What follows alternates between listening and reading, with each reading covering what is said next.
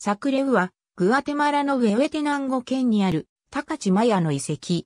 マム族の中心的な都市だったが、1525年に、ペドロ・デ・アルバラードの兄のゴンサロによって征服された。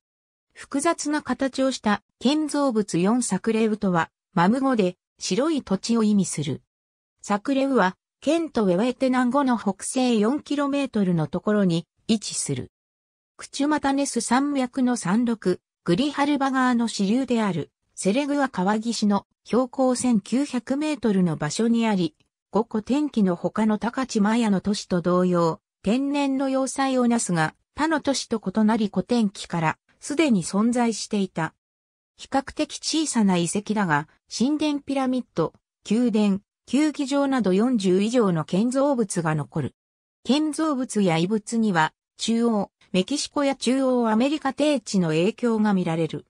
最大の建造物である建造物1は2つの階段を持ち、発想からなる神殿ピラミッドである。上部の神殿は1976年のグアテマラ地震で損傷し、壁のみが残る。その下の墓は古天気のもので、7人以上の子供を含む遺体と、100を超える瓦家、鋼鉄鋼の鏡、翡翠製品などが発見された。金、銅、それらの合金などを使った30ほどの金属製品が発見されている。サクレウは古典期前期にすでに定住地になっていた。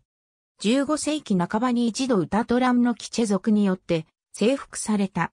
1525年、長い包囲戦の後にゴンサロ・デ・アルバラードによって征服された。1840年にジョン・ロイド・スティーブンズとフレデリック・キャザーウッドが訪れた。1940年代にユナイテッドフルーツ社によって大規模な発掘と復元が行われ、1953年に報告書が出版された。サクレウはウェベテナン語の市街地から近く、またパンアメリカンハイウェイも近くを通っているため、観光地としての集客のために復元された。ありがとうございます。